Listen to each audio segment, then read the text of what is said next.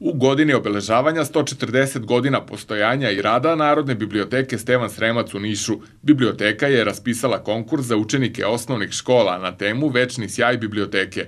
Na konkursu stigli likovni i literarni radovi iz Srbije, Bosne i Hercegovine, Makedonije i Bugarske.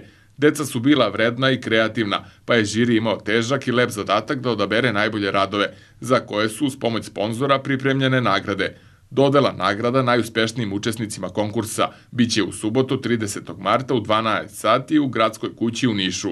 U svečanom programu učestvuje i glumačka grupa Dragoslava Brankovića sa predstavom Čarobna knjiga. Likovnim i literarnim konkursom za učenike osnovnih škola Narodna biblioteka Stevan Sremac već 18 godina obeležava Svetski dan knjige za decu. Ove godine konkurs je posvećen i velikom i lepom jubileju Niške biblioteke.